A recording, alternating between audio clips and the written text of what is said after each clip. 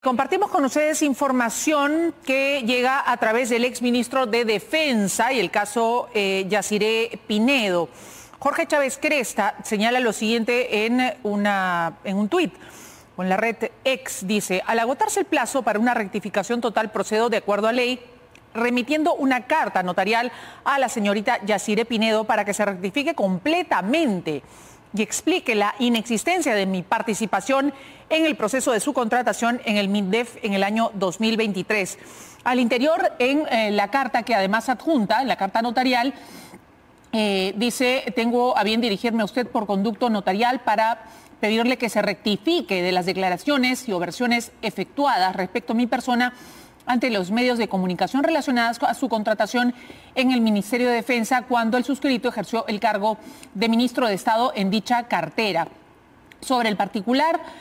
eh, inicialmente usted ha referido que en mi condición de ministro de Estado en Defensa,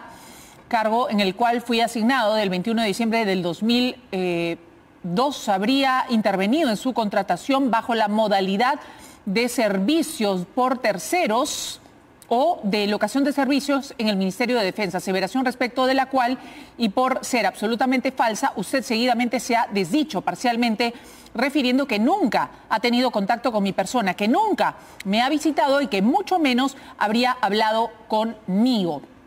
Sin embargo, el daño propiciado por su persona en mi imagen personal y reputación profesional ya está hecho en la medida que debido a sus iniciales afirmaciones en este momento me encuentro obligado a efectuar sendas aclaraciones ante los medios de prensa, los cuales seguiré prestando las veces que sean necesarias en la medida que como exfuncionario público me encuentro en la obligación de eh, darle cuentas a la nación de mis acciones, respetando la función pública y la institución castrense en la que me he formado con ética y profesionalismo. En tal sentido, con esta comunicación notarial exijo a su persona que por escrito y de manera formal a través de un conducto notarial en un plazo máximo de 72 horas se rectifique completamente de sus falsas afirmaciones precisando